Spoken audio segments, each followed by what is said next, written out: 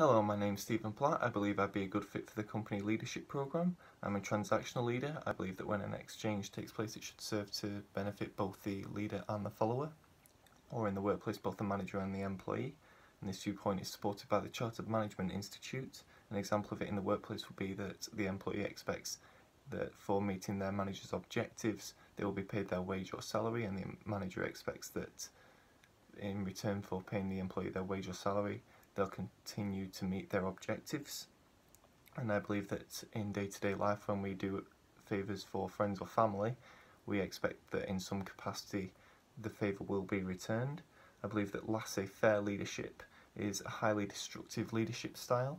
This is, this is because the laissez-faire style involves a complete lack of presence and an abandonment of leadership duties by the official leader and this can create stress or power struggles in the workplace and this leads to people taking up the role of acting leader or trying to take up the role and as and this can cause bullying in the workplace as people turn on their supposed rivals for the position of acting leader.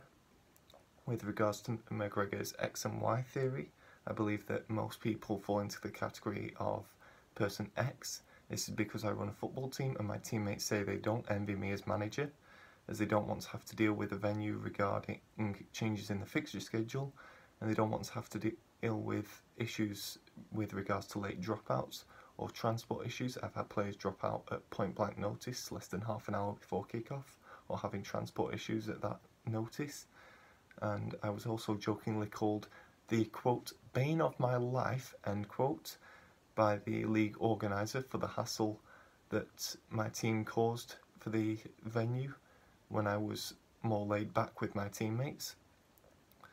Furthermore, I plan my works dues as no one else takes the initiative to plan anything and my colleagues often ask me what they should do at work and I believe this is because they want instructions to follow so that it's not on their head if it goes wrong uh, with regards to group work at university.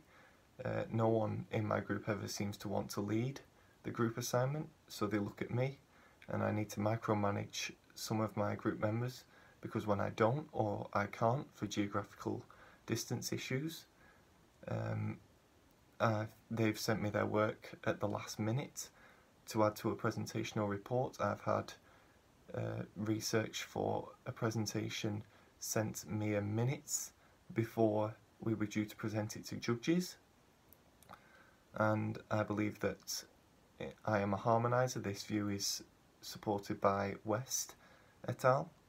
as I like to be consistent in my actions and I also like to be quite cautious in my actions and in my approach I like to be quite predictable. I like to be in a predictable environment with processes and structures to, to comply with.